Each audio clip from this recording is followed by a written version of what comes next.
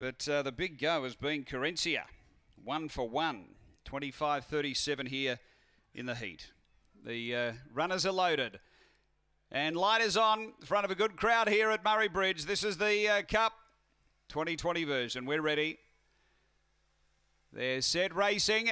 And Short Pork uh, way midfieldish. Good speed. Hot Sophie straight to the lead. Toby Time moves up. Then came Air Marshall in behind them. Short Pork around the inside, outside improving quickly. Carencia the inside. Then came Alfieri, Kurong, Lucy and out the back. Corborn Terry up to the bend. Real race on here. Toby Time slipping through. Short Pork got checked. Outside is Hot Sophie. It's Hot Sophie moving Toby Time. Hot Sophie in front. Late Short Pork. Hot Sophie beat Short Pork. Third Toby Time. Carencia. Then came Kurong. Lucy from Alfieri. They were followed by Air Marshal and Corborn Terry is back at the end.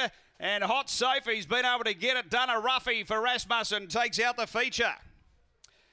So Hot Sophie, too good here, getting the prize. Number five for Tony Rasmussen. Gee, short pork everywhere he went. He found bother. Uh, underneath was Toby Time to the turn. Hot Sophie kept going. They sort of bumped on the bend and uh, has been too good in the centre of the track. Hot Sophie at around